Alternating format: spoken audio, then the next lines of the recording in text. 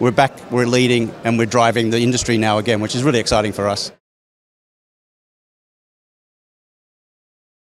I'm Michael Hainsworth at Mobile World Congress 2023, and we are learning a lot about the new Nokia.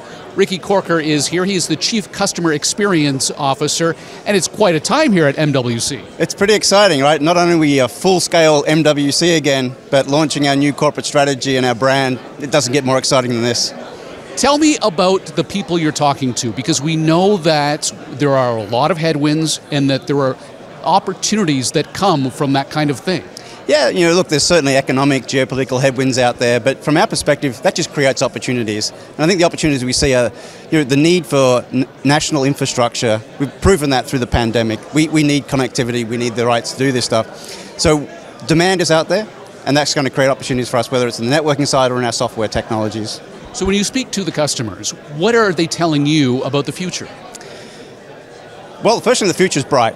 You know, as I said, we're very much in the early phase of 5G technology cycle, so this has got a long way to go and a lot of exciting stuff that's going to come with it. And I think what I really like to hear from our customers is the strength of Nokia's technology is back.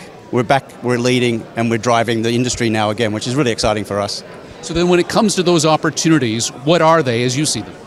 Well, as I said, I think 5G continues to evolve, and of course, we've got new 5G standalone, we've got 5G advanced coming as well. Enterprise is really exciting for us. We saw amazing growth in 2022. We see that continue in 2023.